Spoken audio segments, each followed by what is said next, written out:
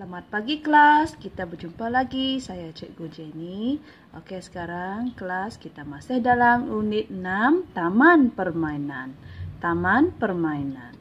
Okey, kali ini kelas kamu boleh keluarkan buku teks kamu dan buka muka surat 34. Muka surat 34.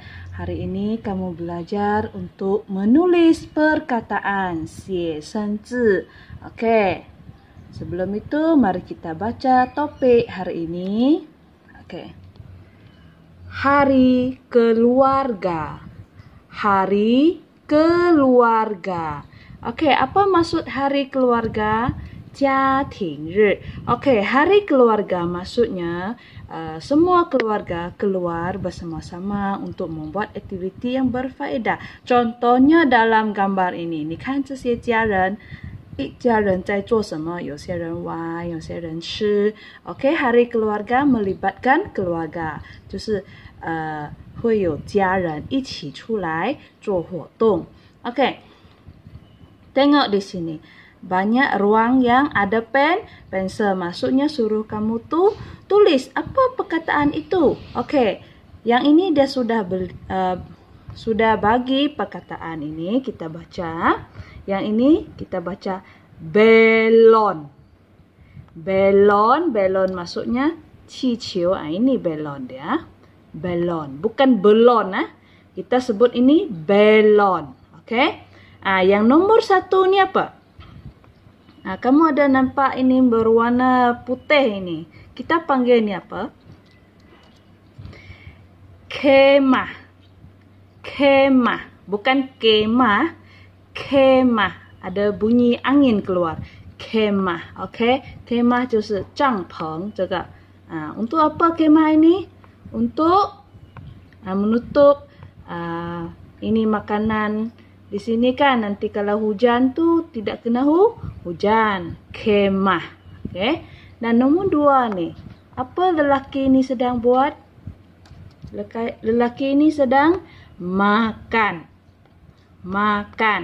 Makan justru, ci oke okay. yang ketiga nih apa nih? Ah yang nih. Ini makanan nih apa? Sate. Sate. Ini bukan sebut sate ah. Sate. Sate. Oke okay, yang last nih nomor empat nih apa? Ah yang berwarna putih nih apa? Batu. Batu. Okey kelas, tadi kamu sudah belajar beberapa perkataan. Okey, dalam muka surat hari keluarga tadi. Sekarang saya mahu kamu uh, ajar kamu mengeja. Mengeja itu sangat penting ah. Kalau kamu tak pandai mengeja, kamu tak pandai memba membaca. Okey, tengok yang gambar pertama ini. Ha, ini apa ni?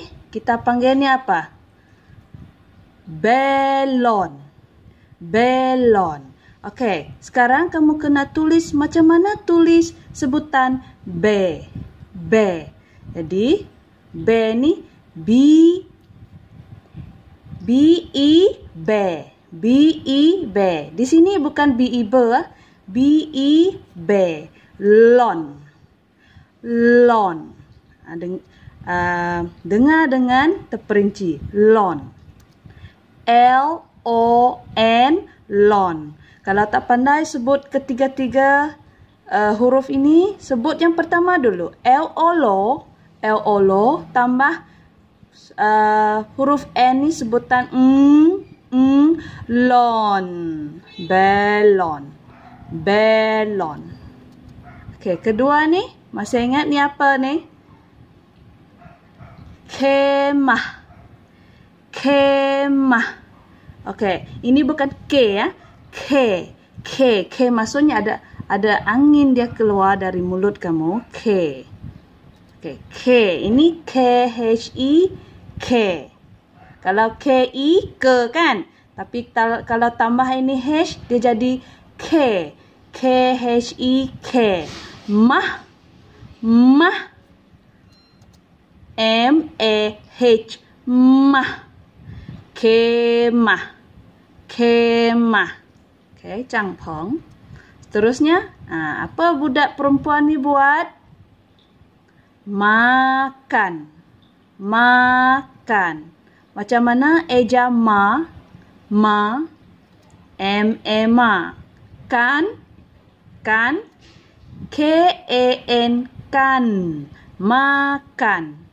Makan. Ha, dia makan burger. Okey, seterusnya. Ha, apa ini? Ini ialah batu. Batu. Macam mana eja ba? B A ba. B A ba. Tu. T U tu.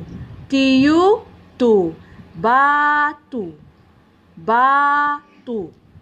Batu ialah 石头. Ha, okay, kita tengok yang ini. Ha, ini nampak sedap. Apa ini?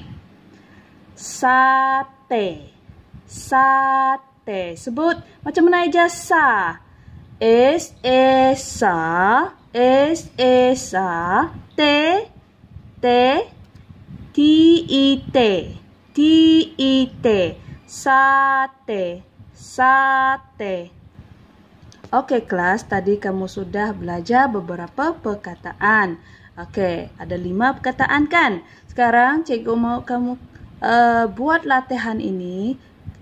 Kalau boleh, kamu jangan tengok buku teks lagi lah. Pandai kamu tulis ini kan? Sebab kamu tadi sudah belajar di video cikgu kan? Kalau masih tak pandai lagi, kamu kena rujuk buku teks buku surat 34. Okey.